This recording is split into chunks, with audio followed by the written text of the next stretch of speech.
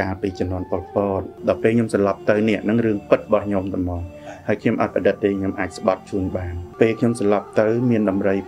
2មកយកខ្ញុំទៅណា ដំរីសភ្លុកខៀវហ្នឹងគឺខ្ញុំជិះលើដំរីហ្នឹងពេលដែលខ្ញុំឡើងលើខ្នងដំរីហ្នឹងភ្លាមគឺខ្ញុំទ្រង់គ្រឿងជាប្អិនជុតប្អិនខៀវហ្នឹងត្មងហើយដំរីសមួយទៀតគឺបានខ្លោះខ្ញុំរហូតថតឲ្យគាត់ហ្នឹងគឺខ្ញុំតួឪនាងដុតហ្នឹងអូស្រាប់ឃើញសស្គុះនៅក្តារគុំស័យគុំស័យអមសងខាងចឹងពួកយើងក្មេងៗអត់ដឹងថាខ្មោចលងទេក៏ប៉ុន្តែខូចដែរយកដុំថ្មទៅគប់យកដុំដីដុំអីគប់ចឹងណាបាទ បាទដល់គប់ទៅខ្មោចហ្នឹងគឺវាឡើងបញ្ចេញភ្នែកបញ្ចេញច្រមុះមកទៅណាបានយើងដឹងតែខ្មោច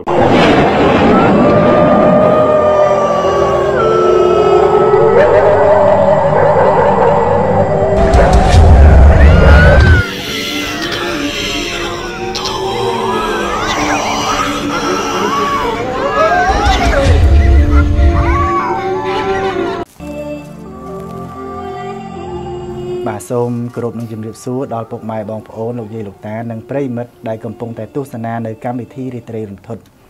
នៅក្នុងសប្តាហ៍នេះកម្មវិធីរាត្រីរន្ធត់បានវិលត្រឡប់មកជួបពុកម៉ែបងប្អូនលោកយាយលោកតានិងប្រិយមិត្តសាជាថ្មីម្ដងទៀតតាមពេលវេលានិងម៉ោងដដែលដែលមានខ្ញុំបាទសេមចំណូចានាងខ្ញុំលំអងចាសប្តាហ៍នេះបានវិលមកជួបបងប្អូនជាថ្មីម្ដងទៀតហើយចាបាទមិនទៅអ្នកនាងលំអងអឺ សប្តាហ៍មុនយើង បានជួបជាមួយលោកគ្រូធម្មមាននន់មានបានមើលវីដេអូហ្នឹងដែរទេ ចាបានតាបាទឃើញថាការបកស្រាយរបស់លោកគ្រូហ្នឹងគឺក្បោះក្បាយខ្លាំងណាស់បាទទោះជាយ៉ាងណាក៏ការបកស្រាយរបស់លោកគ្រូនៅមិនទាន់អស់សេចក្តីនៅឡើយណានាងលំអងចានៅបាទអឺពេលខ្លះក៏យើងផ្ទុះសំណោចសោចជាការសបាយអីមួយលោកគ្រូផងដែរហើយសង្ឃឹមថាទស្សនិកជនក៏ដូចជាពុកម៉ែបងប្អូនមិនប្រកាន់នៅសម្រាប់យើងទាំងពីរនាក់ដែល លេងនៅក្នុងកម្មវិធីនេះទេហើយក៏សូមជម្រាបដល់ប្រិមិត្តយើងផងដែរថាគាត់ថាខ្លាចឯងគ្រាន់តែឮភ្លេងគ្រាន់តែឃើញកម្មវិធីហ្នឹងមកគាត់អត់ហ៊ានទស្សនាទេតាមពិតទៅខ្ញុំគិតថាដូចជាអត់មានអីត្រូវខ្លាចទេចូលរួមទស្សនាទាំងអស់គ្នាទៅដើម្បីយើងបាននៅចំណេះដឹងថ្មីថ្មីព្រោះក្នុងនេះក៏មាន លោកអ្នកដែលមានជំនាញផ្នែកជំនឿនិងពុទ្ធសាសនាហ្នឹងចូលរួមបកស្រាយផងដែររួមទាំងភ្ញៀវកិត្តិយសដែលគាត់ជួបនៅរឿងរ៉ាវផ្សេងផ្សេងហ្នឹងគាត់ចូលរួមដើម្បីធ្វើការចែករំលែកនៅសាច់រឿងទាំងអស់ហ្នឹងដើម្បីឲ្យយើងបានដឹងថាតើក្នុងលោកហ្នឹងវាមានអាចកំបាំងនឹងយ៉ាងណាមានអបិយជំនឿនឹងយ៉ាងណាអញ្ចឹងយើងចូលរួមស្ដាប់ទាំងអស់គ្នាទៅបើគ្រាន់តែជាភ្លេងខ្ញុំគិតថាដូចជាអត់មានអីត្រូវខ្លាចណានាងល្មង ចាបើខ្ញុំវិញខ្ញុំចូលចិត្តភ្លេងហ្នឹងអត់ថាចាក់ឬសូភ្លេងហ្នឹងគឺមានអារម្មណ៍ថាចង់ស្ដាប់ណាចាចង់ស្ដាប់ពីព្រោះកន្លងមកខ្ញុំថតតែរឿងអញ្ចឹងហ៎បងទៅពេលហើយទៅឲ្យតែលើភ្លេងហ្នឹងចូលចិត្តហ្មងបាទសម្រាប់លោកអ្នកដែលចង់ទស្សនានៅវីដេអូចាស់ចាស់ដែលកម្មវិធីយើងចាក់ហើយនោះលោកអ្នកអាចទស្សនាតាម Channel YouTube អឺក៏ដូចជា page របស់ Diamond Media ដោយលោកអ្នកគ្រាន់តែវាយនៅពាក្យ Diamond Media លោកអ្នកនឹងបានទស្សនានៅវីដេអូចាស់ចាស់ទាំងអស់ផងដែរ មិនតែប៉ុណ្ណោះ Studio Diamond Media គឺមាន page 2ជា page ផ្លូវការ page ទី1គឺ page Diamond Media TV page មួយនេះគឺយើងសម្រាប់ចាក់ផ្សាយតែកម្មវិធីរាត្រីរន្ធត់ទេហើយ page មួយទៀតគឺ Diamond Media ដែរប៉ុន្តែជា page ដែលយើងផ្សព្វផ្សាយនៅការថតនៅកម្មវិធីនានាតាមបណ្ដាខេត្តក្រុងឬក៏លោកអ្នកចង់ថតជា pre wedding អាចអញ្ជើញមក studio ផ្ទាល់តែម្ដងបាននេះជា page ផ្លូវការរបស់ studio Diamond Media អ្នកនាងលំអងនៅក្នុងរាត្រីនេះគឺយើងមានភ្ញៀវកិត្តិយសមួយរូបទៀតហើយដែលគាត់មានរឿងរ៉ាវផ្ទាល់ណាភ្ញៀវកិត្តិយសយើងហ្នឹងគឺគាត់នៅក្នុងរាជធានីភ្នំពេញនេះទេប៉ុន្តែមុននឹងយើងជួបជាមួយនឹងភ្ញៀវកិត្តិយសដើម្បីដឹងនៅសាច់រឿងថាតើគាត់មានអ្វីត្រូវចែករំលែកនៅក្នុងរាត្រីនេះយើងជួបជាមួយនឹងម្ចាស់ឧបត្ថម្ភកម្មវិធីបន្តិចសិន ទឹករ៉ែធម្មជាតិបតុមវ័ន pH រហូតដល់7.9ធ្វើឲ្យសុខភាពល្អក្មេងជាងវ័យពីធម្មជាតិពេលកំងព្រាមដឹកដល់គេហាក់ឋានព្រាមហ្វូមសម្អាតមុខមរុំ VP ធម្មជាតិមោទនភាពផលិតផលខ្មែរដំបូងគេបំអស់ផលិតតាមរូបមន្តជប៉ុនសំពីមរុំធម្មជាតិ100%ឃើញលទ្ធផលយ៉ាងច្បាស់ត្រឹមមួយសប្តាហ៍ VP ធម្មជាតិប្រភពនៃសម្រស់និងសុខភាពមានលក់តាមហ្វាម៉ាឬកំងតាមលេខទូរស័ព្ទនិង page បានផ្ទះអីវ៉ាន់ មានអីវ៉ាន់រាប់រយមុខដូចជាសម្លៀកបំពាក់នាឡិការបស់ប្រើប្រាស់ប្រកបដោយគុណភាពនិងតម្លៃសមរម្យចូលមើលក្នុង page កំងអីវ៉ាន់ចាប់ពីទីមុខឡើងហ្វ្រីដឹកជូន25ខេត្តក្រុងហ្វូមប្រមចារីអូគីខាណាជួយបំបត្តិក្លិនកម្ចាត់កន្ទួលរមាស់ព្យាបាលរោគស្ត្រីគ្រប់ប្រភេទសាប៊ូនិងទឹកក្រអូបសុខភាព អបអសាទរផលិតផលខ្មែរគ្មានជាតិគីមីផលិតតាមរូបមន្តជប៉ុនធម្មជាតិ100%បោកកសម្លៀកបំពាក់មនុស្សចាស់និងកូនក្មេងប្រកបដោយសុខសុវត្ថិភាពនិងគុណភាពកំពុងតែលក់ឡានកម្ពុជាបងរំលោភគ្មានព្រំដែនជាមួយនឹងរថយន្តក្នុងក្តីស្រមៃតម្លៃចាប់ពី8500ដុល្លាររហូតជាង300,000ដុល្លារសិប្បកម្មណារានលក់គ្រឿងសង្ហារិមមានលក់រាយនឹងបោះម៉ួយនៅតូទូនិងក្រែគេងយ៉ាងស្រស់ស្អាតជាមួយបទពិសោធន៍នៃការផលិត20ឆ្នាំតម្លៃក្រងទីផ្សារចេញពីសិប្បកម្មផ្ទាល់ៗតែម្ដងមង្គលវ័នទេសចរមានឡានសម្រាប់ជួលគ្រប់ប្រភេទលក្ខណៈគ្រួសារដោយមានតែកង់ឬបាក់ខ្លួនឯងរហូតដល់ឡានទេសចរខ្នាតធំផ្សព្វផ្សាយពាណិជ្ជកម្មបង្ហាញផលិតផលសេវាកម្មរបស់លោកអ្នកទៅកាន់លោកទូទាំងប្រទេសតាមកម្មវិធីរាត្រីរំជុំមួយខែត្រឹមតែ250ដុល្លារបាទនិយាយសួរបងបាទជំរាបសួរចាជំរាបសួរចាបាទសុខសប្បាយហ្នឹងណាបាទសុខសប្បាយធម្មតាខ្ញុំដូចជាប្រហែលប្រហែលមកផងណាតារាជើងចាស់តាណារាជើងចាស់មានកិត្តិយសណាកម្មវិធីយើងបានអញ្ជើញតារាជើងចាស់ឲ្យចូលរួមណាលោកចំណូលជើងចាស់អឺសកលសកលអ្នកនាងលំអងដែរណាអត់ទេខ្ញុំក្រោយគាត់បន្តិចក្រោយបានតិចណាអឺ សូមស្គាល់ឈ្មោះបងផងបាទជំរាបសួរពុកម៉ែបងប្អូនខ្ញុំបាទឈ្មោះជាតិបុរីជាតារាសម្ដែងតួឪពុកបាទថ្ងៃនេះមានកិត្តិយសណាស់ដែលបានដៃមិនមេឌៀ Media TV មកអញ្ជើញមកចូលសម្ភាសន៍នៃកម្មវិធីរាត្រីរន្ធត់បាទអឺមុននឹងចូលកម្មវិធីនេះយើងអឺចង់ដឹងពីប្រវត្តិបងតិចណាអ្នកនាងបងពីដើមមកបងធ្លាប់តារាជើងចាស់នេះចង់ដឹងថាបងធ្លាប់សម្ដែង បានប្រមាណរឿងដែរហើយរឿងណាដែលផ្ទុះការល្បីគ្រប់គ្រងខ្លាំងបងបាទនិយាយទៅចូលមកសម្ដែងខ្ញុំខ្ញុំមិនមែនជើងចាស់យូរហើយទេគ្រាន់តែថាខ្ញុំសម្ដែងបានជាង10ឆ្នាំហើយណាបាទបានច្រើនរឿងដែរបាទច្រើនរឿងដែរហើយរឿងដែលអឺផ្ទុកការគ្រប់គ្រងហ្នឹងក៏ច្រើនដែរនិយាយទៅ ដេញផ្ទុកការគ្រប់គ្រងច្រើនជាងគេហ្នឹងគឺរឿងជប់ខ្មោចហ្នឹងតែម្ដងរឿងជួបខ្មោចបាទរឿងទេពធីតាសម្រាប់ជួបខ្មោចប៉ិតដែរបងអើយជប់ខ្មោចលងពិតប៉ិតហ្មងដែរលងមែនឡងមែនតែនមិនតែមិនឡងពិតទេអូឡងមែនតែនលោកមែនទេបាទប៉ុន្តែខ្មោចមកឡងហ្នឹងគាត់ទៅដូចមកជួយយើងអញ្ចឹងណាបាទគាត់អត់មានមកធ្វើបាបយើងទេព្រោះរឿងហ្នឹងប្រើអភិនិហាច្រើនចាបាទអឺរឿងការដែលបងចុះថតរឿងនោះជួបជួបជាញឹកញាប់ឬក៏យ៉ាងម៉េចដែរ មករឿងហ្នឹងជួបចង់ញឹកញាប់មែនតែនណាព្រោះដោយសាររឿងហ្នឹងប្រើសិលបាទហើយផលិតកម្មរបស់ Vision Picture បាទគាត់បាទតម្រូវឲ្យខ្ញុំដើរតួរងប៉ុន្តែតួរងឪតួរងហ្នឹងគឺសាច់រឿងហ្នឹងឪតួរងគឺចេញរហូតបាទចាអឺបានចេញចេញបាទឪពុកតួឯងគាត់ចេញបានតែមួយភាគពីរភាគគាត់ក៏ស្លាប់សាច់រឿងហ្នឹងខ្ញុំអ្នកសម្លាប់ នៅនៅក្នុងសាច់រឿងក្នុងសាច់រឿងសាហាវដែរបាទអញ្ចឹង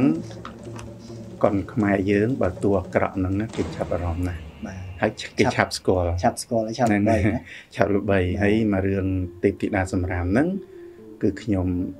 ខូចនិយាយទៅខូចដល់កំពូលហ្មងតាមអ្នកនិពន្ធនិងអ្នកដឹកនាំរឿងគេឲ្យយើងលេងណាបាទប៉ុន្តែខូចតែនៅក្នុងរឿងបាទនៅក្រៅខូចដែរនៅក្រៅរឿងហ្នឹងនិយាយតែមុខក៏មានវាយអឺ បងខ្ញុំចាប់អារម្មណ៍ចេះអឺអ្នកដែលបងប្អូនយើងមួយចំនួនដែលគាត់ចូលចិត្តថតរឿងខ្មោចរឿងអាបអីណាបាទភាគច្រើនហ្នឹងគឺគាត់ច្រើនតែនិយាយថាឧស្សាហ៍ជួបខ្មោចបាជួបទខ្មោចជួបហេតុការណ៍ប្លែកៗនៅពេលដែលកំពុងថតអញ្ចឹងជាក់ស្ដែងបាទដូចនៅនាងលំអងហ្នឹងក៏គាត់ធ្លាប់ថាជួបដែរអាហ្នឹងវាបាទវារឿងទូទៅទាំងអស់ឬក៏យ៉ាងម៉េចដែរអឺនិយាយទៅ យើងមនុស្សយើងផ្សេងខ្មោចផ្សឹងកាលណាគេគេនៅគេគេនៅភាពស្ងប់ស្ងាត់របស់គេដល់ពេលយើងទៅធ្វើអ្វីដែលប៉ះពាល់ទៅគេវាអាចគេមកបង្ហាញឲ្យយើងឃើញចឹងដែរមិនមែនថាអឺសុកសុកគេមកទេមិនថាអញ្ចឹងទេអ្នកនាងលំអងចាបាទព្រោះថាយើងទៅលេងទៅថតកន្លែងខ្លះជួនកាលក្រុមការងារយើងក៏គ្មានខ្វះផ្លិចចន្លោះណាមួយដោយអត់បានរំលឹកសុំគេអីអញ្ចឹងណា បាទដល់ពេលអញ្ចឹងទៅគេនឹងបញ្ចេញមកឲ្យយើងឃើញហើយខ្ញុំជួបច្រើនដែររឿងខ្មោចនឹងដូចជារឿងស្អីគេខ្ញុំថតយូរហើយខ្ញុំផ្លិចឲ្យចំណងជើងនឹងអឺតែរឿងហ្នឹងប្រុសស្រឡាញ់ប្រុសខ្ញុំហ្នឹងតួតួថកែទេអត់មានពាក់ព័ន្ធជាមួយពួកគាត់ទេប៉ុន្តែខ្ញុំនឹងរើសអឺតួប្រុសហ្នឹងមកចិញ្ចឹមគាត់កូនកព្រាហើយក្រទៀតខ្ញុំចិញ្ចឹមក្នុងសាច់រឿងហ្នឹងដល់ពេលជួយជ្រោមជ្រែងគាត់ល្បី មានអ្នកមកសម្លាប់ខ្ញុំក៏មានអ្នកមកសម្លាប់ខ្ញុំហ្នឹងទៅអឺខ្មោចខ្ញុំហ្នឹងនៅតាមជួយថែរក្សាក្មួយប្រុសហ្នឹងប៉ុន្តែគាត់ម្ចាស់ផលិតកម្មហ្នឹងគឺតួហ្នឹងតែម្ដងដល់ពេលគាត់អត់បានដិតធុកដិតអីអញ្ចឹងណាចាខ្មោចដេញកន្លែងដែលខ្ញុំថតហ្នឹងគឺគេមកតំណាងខ្ញុំតម្រងចូលពេញនឹងពេញទឹកពេញដីហ្នឹងបងខ្លួនឯងផ្ទាល់ធ្លាប់ដើរតួជាខ្មោចដែរធ្លាប់បាទ តែរឿងចូលតកុនហើយស្អីក៏ទៅដែរអូបាទវាអត់គាត់ថាខ្ញុំប្រកាន់តិចត្រង់ថាបើបើខ្មោចខ្ញុំដាក់ដូចមជុកអីដាក់កម្រងផ្កាអីគឺខ្ញុំដាច់ខាតខ្ញុំអត់ថតទេបើថាយើងត្រូវស្លាប់ត្រូវអីចាមានបលឹងតងអីទៅអញ្ចឹងខ្ញុំថតចាបាទតែបើថាដូចរឿងទេពធីតាសម្រាមអញ្ចឹងអឺឪពុកតួឯកនឹងដែលខ្ញុំសម្លាប់ហ្នឹងគេយកគាត់ទៅដាក់ក្នុងអឺមឈូសនៅវត្តហ្នឹងគេយកតែមឈូសទៅឯណាចា បាទនៅវត្តអឺយើងអឺស្អីព្រែកឯងនេះវត្តព្រែកឯងហ្មងណាខ្ញុំទៅថតនៅវត្តព្រែកឯងហើយតាំងរូបថតគាត់ឲ្យដាក់បំរងផ្កាអីហ្នឹងខ្ញុំប្រកាន់ខ្ញុំអត់ថតទេខ្ញុំសូមប្រកាសមួយតែប៉ុណ្្នឹងឯក្រៅពីហ្នឹងឈួតក៏ដោយជាក៏ដោយគឺលេងទាំងអស់ចាបាទពួកអីខ្ញុំចូលចិត្តសប្បាយតែដល់ពេលយករូបយើងទៅធ្វើអញ្ចឹងពេកវាដូចជាវាជាអពមង្គលហ្នឹងហើយតាមពិតខ្លះគេថា ហេងដូចប៉ែនសុផាន់នេះគាត់ថាបើគាត់បានថតរូបគាត់ដេញស្លាប់នៅក្នុងមជ្ឈុគាត់នឹងទទួលបានលៀបធំតែខ្ញុំអត់ចង់បានលៀបទេចាពួកអឺសម្ភារៈលុយកាក់អីខ្ញុំគ្រប់គ្រាន់ហើយបាទឲ្យតែបំរើអារម្មណ៍ខ្ញុំឲ្យសប្បាយហើយនឹងសេចក្តីអឺប្រាថ្នារបស់ខ្ញុំពីក្មេងដែលខ្ញុំស្រឡាញ់ហ្នឹងបានប៉ុណ្ណឹងខ្ញុំយកទៅប៉ុណ្ណឹងទេខ្ញុំអត់ចង់បានអីលើសហ្នឹងទៀតទេបាទបាទអរគុណណាស់ អឺដោយសារតែខ្ញុំឮលហៀងលហៀងមកថាអ្នកដែលគាត់ចុះថតតាមខេត្តអីហ្នឹងគាត់ឧស្សាហ៍ជួបខ្មោចជួបអីជាញឹកញាប់ចឹងណាអ្នកនាងលំអងចា៎បងបាទអឺខាងកម្មវិធីយើងហ្នឹងក៏គ្រោងនឹងអញ្ជើញតារាមួយចំនួនដែលគាត់ធ្លាប់ជួបនៅហេតុការណ៍នឹងផ្ទាល់ផ្ទាល់ហ្នឹងដើម្បីចូលមកក្នុងកម្មវិធីយើងនេះអឺ ធ្វើការចែករំលែកទៅកាន់ពុកម៉ែបងប្អូនក៏ដូចជាទស្សនាអឺទស្សនិកជនផងដែរអញ្ចឹងគឺយើងមានកម្រងប្រហែលជាសប្តាហ៍ក្រោយៗហ្នឹងក៏យើងមានតារាផ្សេងផ្សេងៗហ្នឹងគាត់ចូលរួមក្នុងកម្មវិធីហ្នឹងដែរណាបងបាទហើយក៏សូមប្រកាសអឺដល់ប្រិយមិត្តផងដែរថាខ្ញុំមកចង់អញ្ជើញអឺកញ្ញាដែលថតរឿងអឺ ខ្មោចដូចជាដើមចេកយាយចេកជ្វានេះខ្មោចនឹងនុតហ្នឹងណាអាហ្នឹងខ្ញុំឲ្យគាត់អញ្ចឹងហ៎បាទបាទសូមប្រកាសផងដែរដែលខ្ញុំអឺស្វែងរកគាត់ប្រហែលខែហើយខ្ញុំចង់អញ្ជើញគាត់អឺចូលរួមក្នុងកម្មវិធីនេះព្រោះអឺតាមដែលគេឲ្យព័ត៌មានមកថាគាត់ហ្នឹងក៏សារជួបហេតុការណ៍ខ្មោចលងអីចឹងដែរអញ្ចឹងបើសិនជាទស្សនិកជនឬក៏ពុកម៉ែបងប្អូនណាស្គាល់គាត់អីសូមឲ្យគាត់ជួយតាក់ទងមកអឺ ក្រុមការងារយើងមក Studio Diamond Media នេះតែម្ដងដើម្បីយើងធ្វើការអញ្ជើញគាត់មកហើយធ្វើការចែកម្លែកនៅក្នុងកម្មវិធីនេះណាបងបាទអឺនាងនុតហ្នឹងរឿងនាងនុតហ្នឹងគឺខ្ញុំថតឲ្យគាត់ហ្នឹងគឺខ្ញុំតួឲ្យនាងនុតហ្នឹងអូបាទបាទថតមកយប់តលភ្លឺមករឿងហ្នឹងបាទតែជីករកទីតាំងតតែល្ងាចយើងមិនបានថតចាបាទហើយខ្ញុំតួឪពុកគាត់នឹងតំណងបាទហើយអាប្លង់ដេញថានាងនុត ចាប់ពងអឺទូតប្រងហ្នឹងណាបាទខ្ញុំខ្ញុំក៏មានអឺខ្ញុំចេញនិយាយខ្លួនឯងហ្មងនឹងគេអត់ប្រាប់ទេខ្ញុំថាកូនឲ្យកូន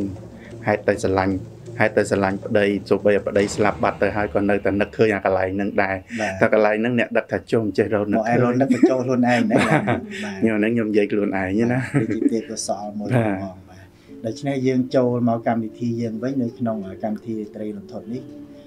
ចង់ឲ្យបងធ្វើការចែករំលែកនៅរឿងរ៉ាវដែលបងជួបផ្ទាល់ទៅកាន់ទស្សនិកជនក៏ដូចជាពុកម៉ែបងប្អូននៅក្នុងរាត្រីនេះតែម្ដងសូមអញ្ជើញណាបាទសូមគោរពអឺជំរាបសួរពុកម៉ែបងប្អូនទស្សនិកជនទាំងអស់ដែលបានតាមដាននៅកម្មវិធីរាត្រីរន្ធត់នេះបាទជាដំបូងខ្ញុំសូមលើកយកការពីចំនួនប៉ុលពតខ្មោចឡងកាលខ្ញុំនៅជាមួយម្ដាយខ្ញុំនៅកុមារហើយអឺចំនួននោះគឺយើងញ៉ាំបាយសហករណ៍ទាំងអស់គ្នា បាទប៉ុន្តែដោយសារលោកម្ដាយរបស់ខ្ញុំគាត់ជាចុងភៅអញ្ចឹងការងាររបស់គាត់ត្រូវចប់នៅម៉ោង9ទៅម៉ោង10យប់បានហើយពួកកាលណាអឺប្រជាជនគេហូបបាយហើយគាត់ត្រូវការនៅប្រមាណប្រមូលចានឆ្នាំងអឺស្ព្រាវែកអីយកមកលាងសម្អាតកោតុកហើយបានគាត់អឺអញ្ចឹងទៅផ្ទះអញ្ចឹងខ្ញុំ ជាកុមារខ្ញុំនៅចាំគាត់ពួកអីអត់ហ៊ានទៅផ្ទះម្នាក់ឯងទេដោយសារនៅផ្ទះឆ្ងាយពីសហគមន៍ហើយងឹតទៀតចំនួននោះបងប្រហែលជាអាយុប្រហែលណាខ្ញុំប្រហែលជាអាយុ12 13ឆ្នាំអូបាទដល់ពេលអញ្ចឹងទៅដើរមកយកកាត់ស្រែហ្នឹងខ្មោចលងរហូតរាល់ថ្ងៃតែខ្ញុំវានៅក្មេងណាស់អត់សូវដឹងថាខ្មោចលងទេបាទពូម៉ែគាត់អត់ហ៊ានប្រាប់ថាខ្មោចទេគាត់ខ្លាចយើងខ្លាចតែខ្ញុំឮ ពេលចេញមកមានបងស្រីខ្ញុំម្នាក់ទៀតគាត់ទៅមុនគាត់ធំហើយគាត់អត់អត់ខ្លាចទេគាត់អាចទៅចាំនៅផ្ទះមុនអញ្ចឹងនៅពេលដែលខ្ញុំធ្វើដំណើរជាមួយម្ដាយខ្ញុំកាត់យប់នឹងមកឮតែមនុស្សយំពីមុខពីមុខអញ្ចឹងម៉ាក់គាត់ខ្លាចបងស្រី មានរឿងអីនៅមុខគាត់ក៏រត់ទៅទុកពួកខ្ញុំចោលនៅ នៅនឹងកន្លែងកដាស្រែហ្នឹងសិន គាត់រត់ចោលបងតែអត់រត់ទេគាត់រត់ទៅហោសលេងហ្នឹងកែលួយបងស្រីខ្ញុំមានរឿងអីគេចាប់គេអីចឹងណាបាទបាទបាទក៏អត់ឃើញស្រាប់តែលឺសលេងហ្នឹងមកក្រោយវិញគាត់ក៏រត់មកក្រោយទៀតដល់ពេលពីពី3ត្រឡប់ពេកទៅគាត់គិតថាមិនសួរទេ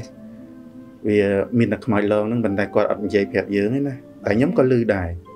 ដល់អញ្ចឹងគាត់ក៏នាំទៅផ្ទះទៅដល់ផ្ទះបងស្រីគាត់គួរចាំមុខទ្វារនៅផ្ទះនោះហ្នឹងលើកលើកហ្នឹងលើកទី1ក្រោយមកទៀតដល់ចំនួនហ្នឹងដែរនៅខ្ញុំនៅកូនអឺកុមារអញ្ចឹងដូចគ្នាអឺខ្មោចលងហ្នឹងខ្មោចលងពួកខ្ញុំក្មេងៗហ្នឹងតែម្ដងអត់មានមនុស្សចាស់ទេពួកខ្មោចហ្នឹងគាត់អឺគេទឹកលងទឹកហើយនៅចិត្តផ្ទះខ្ញុំហ្នឹងគេយកមកអឺកាលនោះគេឲ្យដឹកដែរដឹកចោលនៅនេះនៅចំនួនពពតចំនួនហ្នឹងយើងអត់ទាន់តឹងម៉ានទេគាត់នៅហូបបាយសាមគ្គីតែយើងធ្វើស្រែប្រវាស់ណាបាទបាទដល់ ពេលអញ្ចឹងទៅស្រាប់តែដើរគ្នាមករៀនហ្នឹងមកវងហើយជា4 5នាក់ស្រាប់តែឃើញសស្គុះនៅកដាលគុំស័យគុំស័យអមសងខាងអញ្ចឹងពួកយើងក្មេងៗអត់ដឹងថាខ្មោចលងទេក៏ប៉ុន្តែខូចដែរយកដុំថ្មទៅគប់យកដុំដីដុំអីគប់អញ្ចឹងណាបាទបាទដល់គប់ទៅខ្មោចហ្នឹងគឺវាឡើងវាឡើងបញ្ចេញភ្នែកបញ្ចេញច្រមុះមកទៅណាបានយើងដឹងថាខ្មោច ពួកយើងនៅក្មេងៗយើងអត់យល់ថាខ្មោចនឹងដូចម៉េចទេដល់អញ្ចឹងនាំគ្នារត់ដួលតលីងថាត្រឡប់តលិនពេញស្រែនឹងយំឡងផ្អើលស្រែហ្នឹងបានចាស់ចាស់រត់មកជួយចាតើដឹងថាខ្មោចស្រីឬប្រុសទេបងខ្មោចហ្នឹងមនុស្សប្រុសប៉ុន្តែទទួលកណាត់សចាពេលគាត់បើកភ្នែកអីអញ្ចឹងទៅបាននាំគ្នារត់គាត់នឹងយំបដ ாய் ហើយពីពីកន្លែងខ្មោចលងទៅសហគមន៍ហ្នឹងប្រហែលជា6 700ម៉ែត្រដែរល្មមចាស់ចាស់គាត់លើកពួកយប់ហ៎ចាវាស្ងាត់ដែរតុងចឹងប្រហែលជាម៉ោងប្រហែលបងហើយយើងចេញពីរៀនសិស្សសាលាម៉ោង5 6ល្ងាចយប់ងឹតងឹតហ្នឹងណាបាទព្រោះជំនាន់ហ្នឹងក្មេងៗគេឲ្យរៀនល្ងាចរៀនអឺម៉ោង4ម៉ោង5ម៉ោង6ហ្នឹងតែល្ងឹតគេលែងឲ្យរៀនដែរដោយសារអីអឺមើលអត់ឃើញឬអត់មានភ្លើងទេណាព្រោះជំនាន់ហ្នឹងខ្ញុំនៅរៀនដែរតែចឹងទៅអាហ្នឹងរួចពីហ្នឹងទៅ បាទឥឡូវនៅរឿងការពីជំនាន់ប៉ុលពតមួយរឿងទៀតកាលនោះខ្ញុំមានអាយុក៏ល្មមដឹងច្រើនដែរពុកជាង10ឆ្នាំដែរប៉ុន្តែអាចមើលក្បីអាចធ្វើការនៅសមរភូមិមុខបានគេក៏បញ្ជូនដូរខ្ញុំមកពីសមរភូមិក្រោយឲ្យមកសមរភូមិមុខដើម្បីជួយមើលក្បីខ្វៀលក្បីនិងគោហើយរើសស្រូវដើររើសស្រូវដើម្បីអឺបញ្ជូនទៅសមរភូមិក្រោយបាទអាចចន្លោះពីប្រហែលឆ្នាំដែរបងពេលដែលបងជួប សាច់រឿងនីមួយៗណាហឹមពីជំនាន់យើងជំនាន់នោះវាតតគ្នាតិចតិចហ្នឹងអូនអូពួកអីយើងចេះចលិះម្ដងពីបិខាយើងចលិះពីបិខាយើងចលិះចេះអញ្ចឹងណាបាទពួកអីអត់មានបានយូរទេពួកយើងអឺចូលពលពតពីឆ្នាំ76 77ហ្នឹងយើងចិត្តបែកវិញ79ហ្នឹងបាទមិនអញ្ចឹងបាទបាទអញ្ចឹងតែក្នុងអំឡុងពី77 78ហ្នឹង អាហ្នឹងក្នុងអំឡុងហ្នឹងគឺខ្ញុំនិយាយក្នុងកំឡុងហ្នឹងទាំងអស់គាត់ថាវាដូរខែថ្ងៃអីចឹងណាបាទបាទដល់ពេលអញ្ចឹងទៅខ្ញុំក៏ឃើញដើមស្វាយនឹងមួយផ្លែច្រើននោះច្រើនខ្ញុំក៏នឹកឃើញថាចង់បេះផ្លែស្វាយហ្នឹងយកទៅផ្ញើអឺលោកម្ដាយខ្ញុំនៅស្មោភូមិក្រៅនឹងបងប្អូនញាតិចិត្តខាងផងពួកអីនៅក្រៅគាត់អត់សូវមានអីហូបអញ្ចឹងណាក៏ឡើងបេះតាំងពីម៉ោងម៉ោង9ព្រឹកហ្នឹងអត់តាន់យកអត់តាន់ឆ្អិនបាយទេអញ្ចឹង ខ្ញុំក៏ឆ្លៀតឡើងបេះស្វាយហ្នឹងដើម្បីអឺផ្ញើទៅតាមបងប្អូនដែលអ្នកស្គាល់យកទៅជូនម៉ាក់ខ្ញុំនៅខាងនៅខាងសមរភូមិក្រោយប៉ុន្តែចៃដន្យអីឡើងទៅដើមស្វាយហ្នឹងនេះខ្ញុំនិយាយរឿងពិតរបស់ខ្ញុំអត់និយាយដើមគេទេណាបាទបាទណានេះរឿងលំអងចាបាទនេះរឿងពិតរបស់បងចាបាទដល់ពេលឡើងទៅសាប់តែធ្លាក់មកធ្លាក់ហ្នឹងដើមហ្នឹងដូចជាអត់ខ្ពស់ទេធ្លាក់ពីលើហ្នឹងមកទៅលើដើមស្ពីមែកស្វាយហ្នឹងមកទៅលើតបោផ្ទះ ប៉ុន្តែធ្លាក់ពីលើតបោផ្ទះមកទៀតបានដល់ដីគិតទៅពីតបោផ្ទះហ្នឹងមកដីហ្នឹងប្រហែលជាដូចជា2ទៅ3ម៉ែត្រទៅហេតុទីបានជាខ្ញុំស្លាប់ស្លាប់តាំងពីម៉ោង9នឹងរហូតដល់ម៉ោង5កន្លះល្ងាចហើយពេលអាហ្នឹងខ្ញុំនិយាយឲ្យខ្ញុំស្លាប់ដល់ពេលខ្ញុំស្លាប់ទៅនេះហ្នឹងរឿងពិតរបស់ខ្ញុំតែហ្មងហើយខ្ញុំអត់ប្រឌិតទេខ្ញុំអាចស្បត់ជូនបាន ពេលខ្ញុំស្លាប់ទៅ មានដំរី2មក យកខ្ញុំទៅណាដំរីសភ្លុកខៀវហ្នឹងគឺខ្ញុំជិះលើដំរីហ្នឹងតែខ្ញុំជាមនុស្សរបៀបម៉េចខ្ញុំអត់ដឹងទេគាត់ថាថានៅពេលដែលខ្ញុំឡើងលើខ្នងដំរីហ្នឹងភ្លាមគឺខ្ញុំត្រង់គ្រឿងជាប្អិនឈុតខៀវហ្នឹងតំណងបាទឈុតប្អិនខៀវហ្នឹងតំណងហើយដំរីសមួយទៀតគឺបានខ្លោះខ្ញុំរហូតចារហូតទៅអមខ្ញុំឲ្យកម្រាបព្រំរហូតនេះខ្ញុំនិយាយការពិតអឺពីព្រោះថាខ្ញុំហ្នឹងម៉ាក់គាត់សុំពីព្រះអង្គ ពោះម៉ាក់គាត់កូនសិទ្ធិស្រី6នាក់គាត់ចង់បានកូនប្រុសហ្នឹងក៏គាត់ទៅសុំនៅព្រះអង្គពេលព្រះអង្គប្រទានទៅគាត់ហ្នឹងប្រហែលជាខ្ញុំហ្នឹងមិនមែនជាកូនមនុស្សលោកធម្មតាទេប្រហែលមើលទៅបាទពោះថាដល់ពេលដែលខ្ញុំស្លាប់អឺខ្ញុំស្លាប់ទៅផ្លឹកទៅនោះបាទខ្ញុំដឹងថាខ្ញុំប្រហែលជាមិនមែនកូនមនុស្សធម្មតាទេបានថាអញ្ចឹងនៅពេលដែលខ្ញុំឡើងលើក្នុងដំរីហ្នឹងទៅស្រាប់តែខ្ញុំហ្នឹងត្រង់គ្រឿងជីប្អិនត្មងហើយមាន កេណរាកេណរីហ្នឹងគេហែហោមតាមលើព្រំក្រហមហ្នឹងណានេះខ្ញុំនិយាយរឿងខ្ញុំទៅបើបងប្អូនពុកម៉ែទាំងអស់មិនជឿក៏ខ្ញុំមិនបខំឲ្យជឿដែរតែនេះរឿងពិតរបស់ខ្ញុំនេះរឿងផ្លឹករឿងផ្លឹកណាផ្លឹកនៅពេលដែលបានស្លាប់បាទនឹងពេលខ្ញុំស្លាប់នឹងដល់ពេលហែទៅឆ្ងាយទៅស្បាយអត់មានបារម្ភអីទាំងអស់នៅពេលដែលខ្ញុំឡើងជិះលើដំរីហ្នឹងហើយឃើញពួកក្រុមកេណរាកេណរ៉េភ្លេងអីគេ ព្រមច្រៀងពីមុខនឹងទៅហើយព្រំឡងក្រហមជាឃើញឆ្ងាយទៅឆ្ងាយទៅស្រាប់តែដល់ពេលចិត្តដល់ម៉ោង5ម៉ោង5ជាងហ្នឹងខ្ញុំដូចដឹងខ្លួនដឹងខ្លួននៅលើដំរីហ្នឹង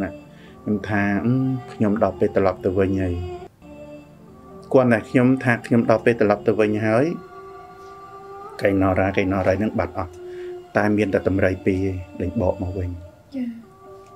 បកតម្រៃពីរនោះមកវិញគឺ និយាយពីលឿនផ្សាយងឹតព្រៃដូចដូចដូចឡានចឹងថាលឿននោះលឿនចុះនៅតែ10នាទីទៀតទេគេយកខ្ញុំពងតាមកដល់គេចាប់ជើងចាប់ស្នាខ្ញុំហ្នឹងចាប់ចម្រងយកទៅកប់ណាចាបាទពោះយប់ហើយម៉ោង5កន្លះហើយប៉ុន្តែដោយសារថាខ្ញុំគេຕົករៀងយូរនេះដោយសារគ្រូគ្រូសិតតែចដូនមួយខ្ញុំទាំងអស់សិតបងបងខ្ញុំទាំងអស់អញ្ចឹងគាត់អត់អស់ចិត្តស្ទាបទៅនៅក្តៅ បានតែគេអត់យកខ្ញុំទៅទៅកប់នឹងគាត់ថាស្ទាបទៅនៅក្តៅតែអត់ដឹងខ្លួនដល់ពេលគាត់ណាតម្រៃនឹងមកចិត្តដល់រូបខ្ញុំតម្រៃនឹងគឺឈប់ងៅហ្មងគឺដូចឡានកុងតឺន័រចិត្តប្រាំងអញ្ចឹងខ្ញុំក៏លោតចុះភ្លាមមកនឹងពេលខ្ញុំលោតមកអស់ត្រង់គ្រឿងនេះមិនដឹកធម្មតាទេខ្ញុំលោតមកដល់ចូលក្នុងរូបខ្ញុំវិញស្រាប់ខ្ញុំដឹងខ្លួនដែរនឹងរឿងសន្លប់រឿងរឿងសន្លប់និងរឿងផ្លឹក នេះខ្លួនខ្ញុំផ្ទាល់តែបើពុកម៉ែបងប្អូនមិនជឿថាខ្ញុំប្រឌិតអីក៏ខ្ញុំអត់ហ៊ានបខំដែរនេះរឿងរឿងផ្លឹកហើយនៅរឿងមួយទៀតអត់មែនបងប្អូនបាទរឿងពិតមែនរឿងខ្ញុំហើយរឿងហើយខ្ញុំសូមបើកវងកញ្ចក់បន្តិចកាលពីខ្ញុំនៅអាយុ21 22ខ្ញុំជេរគេអត់បានទេខ្ញុំណាខ្ញុំជេរគេអត់បានទេតែខ្ញុំជេរគេមិនគឺមាត់ខ្ញុំអញ្ចឹង ខ្ញុំជេរឡានបុកឡានបុកខ្ញុំជេរឡានម៉ូតូបុកម៉ូតូបុកអញ្ចឹងដល់ថាបើបងជេរគេគឺគេអញ្ចឹងមែនបាទគឺជេរគេអត់បានទេហើយដល់ពេលក្រោយមកអាយុយើងចាប់ពី30ជាងទៅ នៅវានៅខ្លាំងដែរវានៅដែរណាដល់ពេលឲ្យខ្ញុំថាងសូមឲ្យញោមកុំកុំឲ្យមាត់ខ្ញុំនឹងចឹងពួកខ្ញុំខ្ញុំមនុស្សលោកហើយខ្ញុំប្រកែខឹងណាខ្ញុំឆាប់ខឹងណាខ្ញុំឆាប់ខឹងដល់ពេលចឹងទៅឥឡូវហ្នឹង រៀងខនបើខ្ញុំថាអីថាអីគេអត់សិទ្ធកម្មទេ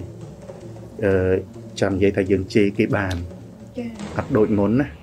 កាលពីមុនអាយុ20ជាងយើងអត់ទាន់សាងបាបបានច្រើនទេយើងនៅនៅថ្មីយើងនៅក្មេងអញ្ចឹងគេថាដោយក្មេងៗតូចតូចទៅកើតហ្នឹងគេថាយើងគាត់អត់មានបាបទេហ្នឹងហើយដល់ពេលយើងចេះប្រព្រឹត្តអឺចង់និយាយថាយើងចេះដឹងច្រើនចេះចង់មានចង់បានអានឹងយើងមានបាបក្នុងខ្លួនហើយ ហើយខ្ញុំរាល់ថ្ងៃខ្ញុំស្រឡាញ់ម្ដាយខ្ញុំគោរពម្ដាយខ្ញុំទុកគេស្រឡាញ់ម្ដាយប៉ុណ្ណាក៏ដោយប៉ុន្តែខ្ញុំនឹងសូមស្រឡាញ់ម្ដាយខ្ញុំឲ្យច្រើនជាងគេព្រោះអីខ្ញុំគិតពីគាត់ហើយខ្ញុំធ្លាប់នាំម្ដាយខ្ញុំនឹងជីកបាហោះទៅលេងស្រុកក្រៅច្រើនលើកដែរគឺម៉ាក់ម៉ាក់ខ្ញុំគាត់មានសំណាងនៅរឿងមួយទៀតចូលដល់រឿងសម័យយើងឥឡូវសម័យថតកុនបាទបាទ ខ្ញុំនិយាយពីរឿងពីមុនថាខ្ញុំល្បីដោយរឿងដោយសាររឿងទេពធីតាសម្រាមហ្នឹងគឺខ្ញុំផ្ទុះនៅរឿងហ្នឹងមែនគេស្គាល់ខ្ញុំច្រើនទៅដល់ណាក៏គេឃើញគេចង្អុលខ្ញុំគេថាពូនឹងខូចហ៎ក្នុងរឿងចង់បាន នៅគេឲ្យនៅផ្ទះហើយចង់បានផ្ទះគេហើយសម្រាប់កូនគេទៀតតាមប៉ាត់កូនហ្នឹងគឺជាក្មួយបកើតរបស់ខ្ញុំនៅក្នុងសាច់រឿងប៉ុន្តែខ្ញុំក៏មិនចង់ធ្វើអញ្ចឹងដែរនេះអឺ ជាការតម្រូវរបស់អ្នកនិពន្ធនិងអ្នកដឹកនាំរឿងគឺចង់បានអ្វីដែលឲ្យខ្ញុំធ្វើខ្ញុំនឹងពុះវាធ្វើតទៅបានទោះបីខ្ញុំមិនធ្លាប់ធ្វើក៏ដោយបាទរឿងដេញទេពធីតាសម្រាមហ្នឹងខ្ញុំថតនៅវិឡាមួយនៅផ្លូវជាតិលេខ 6A នៅពេលដែលខ្ញុំទៅថតនៅផ្ទះហ្នឹងផ្ទះហ្នឹងសុខសាន្តណាស់និយាយរួមប៉ុន្តែខ្មោចដែលគាត់ជួយមកចេញឲ្យយើងឃើញហ្នឹងគឺគាត់មកជួយការងារយើងទេគាត់ជួយឲ្យគាត់អត់មានឲ្យពីណាខ្លាចទេ ប៉ុន្តែបន្ទប់ដែលខ្ញុំថតនឹងឲ្យខ្ញុំឡើងទៅម្នាក់ឯងគឺខ្ញុំអត់ឡើងទេមានអារម្មណ៍ថាខ្លួនស្រាវចា៎មានអារម្មណ៍ថាស្រាវខ្នងហ្មងហើយក៏ដឹងថាមានបងបាទតែមានគាត់ឈរមើលខ្ញុំសំដែងនៅចិត្តបន្ទប់ខ្ញុំហ្នឹងជាប្រុសជាស្រីបងមកគ្រួសារគាត់3នាក់កូនមួយឈរទាំង3ធ្វើឲ្យយើងដឹងបាទប៉ុន្តែបាទគាត់ឈរមើលខ្ញុំនៅពេលដែលខ្ញុំខ្លាចជាខ្មោចហើយប្រពន្ធខ្ញុំហ្នឹងម្ដាយក្មេកខាត់សខៀមទូប្រពន្ធខ្ញុំហ្នឹងណាចា៎បាទ គាត់ឈួតនៅមុខផ្ទះហ្នឹងគឺមានអាងអាដេញស្អីអាងវងមួយគេដាក់ទឹកបាញ់ខាងមុខផ្ទះណាអូនចា៎បាទអង្គុយកន្លែងហ្នឹងគាត់អង្គុយអង្គុយគាត់យំគាត់ធ្វើទូគាត់ត្រូវឈួតចឹងណាគាត់យំយំស្រាប់តែព្រលឹងខ្ញុំហ្នឹងមកមកឲ្យគាត់ឃើញចា៎មកឲ្យប្រពន្ធឃើញដើម្បីអាណិតប្រពន្ធកុំឲ្យប្រពន្ធនឹកពេកហ៎ចា៎បាទដល់ពេលគាត់ឃើញចឹងគាត់ក៏រត់ទៅអោបខ្ញុំខ្មោចហ្នឹងឈរមើលខ្ញុំពីលើហ្នឹងមកចា៎ ហើយខ្ញុំក៏ឃើញអ្នកដឹកនាំរឿងក៏ឃើញដែរភាកច្រើនអ្នកដឹកនាំរឿងឃើញជាងយើងពួកគាត់តនេជាងយើងជាកម្មបាទគាត់តនេគាត់មើលជុំវិញអញ្ចឹងគាត់ឃើញគាត់ឃើញនិគាយាយត់តែខ្មៅនេះក៏អាចឃើញឲ្យភាកច្រើនឲ្យអ្នកដឹកនាំនោះឃើញបាទអ្នកដឹកនាំរឿងឃើញច្រើនជាងជាងតួដល់ពេលអញ្ចឹងទៅគាត់ក៏ឈរមើលយើងធម្មតាគាត់មានឲ្យយើងខ្លាចណាអឺរួចពីនឹងទៅ អាពេលក្រុមការងារនឹងគាត់សែងពូកសែងអីដេញធ្វើតួកូនស្រីខ្ញុំត្រូវមានប្លង់អីថតនៅលើអីអញ្ចឹងគាត់សែងទៅតែ4នាក់អីតែពេលចុះមកមានជួយម្នាក់ឯងត្រូវតែមានមួយទៀត5នាក់សែងសែងអីគេសែងពូកយើងយកទៅថតហ្នឹងណាបាទយើងយកទៅដាក់រៀបអឺរៀបអឺខ្ទប់មានខ្ទប់ក្រោមមានតែមួយខ្ទប់ខ្ញុំទេបាទហើយខ្ទប់លើហ្នឹងយើងចង់ដូរប្លង់ហ៎បាទយើង ធម្មតាអ្នកដឹកនាំរឿងក៏កែលួចប្លង់ណាផ្ទះតែមួយគាត់លួចបាន2 3ហ៎បាទបាទអញ្ចឹងគាត់លួចឥឡូវហ្នឹងដាក់ផ្ទះអីមួយទៀតចឹងទៅដល់ពេលចឹងទៅផ្សែងទៅចឹងទឹក4នាក់ឯងចុះមកវិញ5ជារឿយរឿយតែអញ្ចឹងតែ អ្នកឃើញគេអត់ហ៊ាននិយាយខ្លាចពួកក្រុមការងារខ្ញុំក្មេងៗជាងអូនអូននេះអ្នកកាន់កាមេរ៉ានឹងទៀតហើយអ្នកដឹកខ្ញុំក្មេងទេតែអឺម្ចាស់ផលិតកម្មហ្នឹងហើយអ្នកនិពន្ធហ្នឹងគាត់ទៅហ្នឹងគាត់ រៀងអាយុច្រើនច្រើនដែរយុស្កស្កអូនចំនួនអញ្ចឹងណាបាទប៉ុន្តែក្រុមកាមេរ៉ាម៉ាន់ហ្នឹងអាយុ22 23ទេវាគាត់ក្មេងៗហ្នឹងផុតពីហ្នឹងទៅរឿងហ្នឹងតដែរយើងទៅថតនៅវត្តចលងលូថតម៉ោង9ម៉ោង10មកដល់12 10ជប់ជួនកាលថតដល់ម៉ោង3ខ្ញុំនឹងប្លង់ខ្ញុំដែរនៅពេលដែលខ្ញុំទៅរកគ្រូសិលដែលក្នុងរឿងទេពធីតាសម្រាមហ្នឹងគាត់ នឹងខ្ញុំធ្លាក់ខ្លួនហើយរេតរត់កិច្ចខ្លួនណាណាបាទគេគេចាប់ផ្ដើមដឹងហើយក្រុមហ៊ុនក៏គេសើបសើបកាមេរ៉ាមកឃើញថាខ្ញុំនឹងជាជនក្បត់ នៅក្នុងផ្ទះក៏បងបង្កើតនឹងដឹងថាខ្ញុំនឹងក្បត់សម្លាប់កូនគាត់នឹងចង់បានផ្ទះគាត់នឹងអញ្ចឹងខ្ញុំត្រូវសមត្ថកិច្ចតែងចាប់នឹងក៏រត់ទៅច្រកកានជាមួយលោកគ្រូគ្រូសិលហ្នឹងណាបាទបាទមិនដឹងថាគ្រូសិលហ្នឹងគាត់គ្រូធ្មប់ផងគាត់អឺបីសាច់ផងទេ ពេលអញ្ចឹងទៅទៅនៅមួយគាត់ដល់ទៅនៅមួយគាត់ខ្ទមខ្ទមស្លឹកស្បូវកខេកកខាហ្នឹង3នាក់ប្រពន្ធកូនហ្នឹងក៏នៅស្នាក់នៅហ្នឹងនៅហ្នឹងខ្ញុំថាងប្រាប់ប្រពន្ធថាអូនឯងនៅមើលកូនទៅបងទៅរកកតិចឈើម៉ែកឈើអីយកមកដិតពពួកកុំឲ្យមុខខាំហ្នឹងហើយគាត់ទៅរកអាហ្នឹងប្លង់គេធ្វើអញ្ចឹងណាបាទដល់ពេលយើងទៅរកទៅគ្រូសិលហ្នឹងគាត់ចេញទៅបឺតខ្ទប់បឺតឈាមសក់ចា៎បាទនៅក្រោមដើមឈើហ្នឹង បាទដល់ពេលអញ្ចឹងទៅខ្ញុំក៏ទៅឃើញគាត់ក៏លោភនឹងគាត់ឈើនឹងមើលមើលថាឲ្យដឹងថាព្រឹត្តិការណ៍ហ្នឹងជាស្អីឲ្យច្បាស់ណាបាទដល់មើលទៅដឹងថាគ្រូសិលហ្នឹងហើយខ្ញុំលោបមើលហ្នឹងសមោលខ្មៅហ្នឹងគាត់ចុះពីចុងឈើហ្នឹងមកឃើញសមោសមោលខ្មោចហ្នឹងណាបាទប៉ុន្តែខ្មោចហ្នឹងតាមជួយខ្ញុំរហូតអត់ធ្វើបាបឲ្យខ្ញុំខ្លាចឲ្យអីទេចុះមកមកចូលនឹងលោកគ្រូសិលហ្នឹងតែមក ចូលមែនតើបាទចូលប៉ុន្តែគាត់អត់មានធ្វើអីយើងទេគាត់គាត់ថាមកដល់ហ្នឹងគាត់មកមើលគ្រូសិលហ្នឹងតែដល់ពេលខ្ញុំដឹងថាគ្រូសិលហ្នឹងខ្ញុំក៏រត់បាទអាប្លង់ដេញគេឲ្យខ្ញុំរត់ហ្នឹងវាត្រូវពុកជើងដួលងើបរត់ពុកជើងដួលងើបរត់តែចែកដនខ្ញុំដូចខ្មោចជួយក្បួយកអាវខ្ញុំពីក្រោយជួងជាមួយចុះពេលពេលពេលដែលបងដួលកាប់មុខបាទពេលយើងសំណែងហ្នឹងណាចា គាត់រុញអញ្ចឹងគាត់ទាញគាត់រុញអញ្ចឹងគាត់ទាញគាត់រុញអញ្ចឹងគាត់ទាញតែខ្ញុំខ្លួនខ្ញុំហ្នឹងវាចង់ដាច់ខ្យល់ហើយវាភ័យមិនមែនភ័យខ្លាចខ្មោចហ្នឹងទេភ័យថាខ្លាចវាដួល3 4ត្រឡប់ហ្នឹងណាតែវាអត់អាចទៅដល់ពេល director គេថាជុំបងសំដែងល្អប្លន់ហ្នឹងយកយកផ្ទះដៃប្រុសគេយកបដ ாய் តាមពិតឯងខ្មោចឡងសោះតែមកសកងយកបាទយកថតថតមកថេឲ្យកន្លែងហ្នឹងវាត្រូវពិបាកណាមិនមែនស្រួលទេណាបាទបើអាចត្រូវ3 4សេកសេកងហ្នឹងមិនតាន់ដឹងថាម៉េចផងពូចា វាយើងវាវាចង់ដួលអញ្ចឹងបើសិនជាអាចដួលនឹងកុំគេទាញឡើងវា3ត្រឡប់ទៅបាទយើងងើបរួចទេប៉ុន្តែនឹងប្លង់ចុងក្រោយខ្ញុំបាទអរគុណអឺចង់ឲ្យបងបញ្ជាក់ពីពីហេតុផលដែលឃើញបងអាទី1ខ្ញុំចង់វិលថយក្រោយបន្តិចពេលដែលសែងពុកហ្នឹងអ្នកដែលឃើញហ្នឹងគាត់ឃើញជាទ្រង់ទ្រាយជាសមោលឬឃើញឃើញជាមនុស្សជាមនុស្សតែឃើញតែត្រឹមនេះចុះក្រោមឯងមនុស្សប្រុស ឃើញធ្វើកចុះក្រោមឃើញអត់ចុះយើងសែងពុកមានឃើញស្មាយើងមកចេះវាបាំងណាណាបាទអញ្ចឹងអ្នកមើលពីក្រោមមកឃើញតែធំនេះក៏ទេគាត់គាត់ជួយណ៎បាទហើយដល់ពេលខ្ញុំគាត់ឈរមើលខ្ញុំហ្នឹងឃើញទាំងអស់តែសម្មាវខ្មៅ3នាក់ទេអត់មានឃើញមនុស្សពិតទេឃើញថាជាសមោលហើយបងឈរហ្នឹងមានប្តីប្រពន្ធកូនឈរពីមុខពីមុខឃើញប៉ុន្តែយើងមើលមុខវាអត់ឃើញអញ្ចឹងនិយាយអញ្ចឹងអត់ច្បាស់ណាអត់ច្បាស់ចា ឃើញមនុស្សត្រង់ទ្រាយមនុស្សប្រុសមនុស្សស្រីដូចគ្នាកូនក្មេងតែចាយើងអត់មើលមុខឃើញទេព្រោះដោយសារថាពីខំទៅលើហ្នឹងវាមកជន់ដែរធម្មតាគេមិនឲ្យយើងឃើញច្បាស់ទេបាទទៅឃើញចាំហ្នឹងហើយបាទចុះមួយទៀតនៅពេលដែលឃើញសមោលពេលដែលគ្រូសិលហ្នឹងគាត់អឺគាត់ទៅហត់ឈាមហត់ខ្ទុះបើកណាខ្ទុះបើកបាទឈាមពេលដែលបងឃើញជាសមោលហ្នឹងជាសមោលដូចយើងធម្មតាឬក៏ឃើញជាមុខសម្មាលហ្នឹងអត់ឃើញជាមុខមាត់ទេសម្មាលហ្នឹងគឺដុំធំហើយរត់ដូចសត្វចឹង